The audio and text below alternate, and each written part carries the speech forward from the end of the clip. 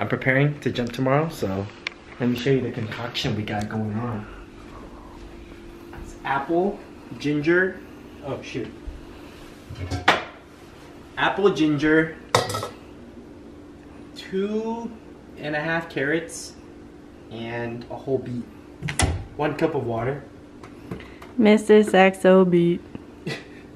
No.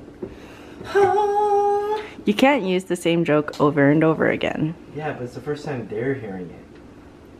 Hi, they.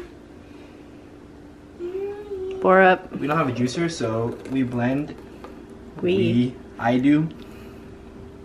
But look at all this goodness that's left over. Oh, if only you could smell. Check it out, baby. And I try to like slosh it around a bit. That's a bad idea. Try to get the remnants of the blender, you know? Get it? Ta-da! And there you have it, beet juice. Not that exciting. Oh yeah.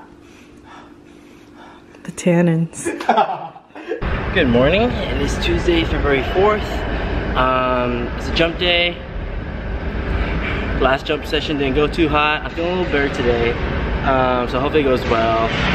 Gotta keep grinding and hopefully get this dunk in. Um, feeling optimistic, so let's see what we can do today.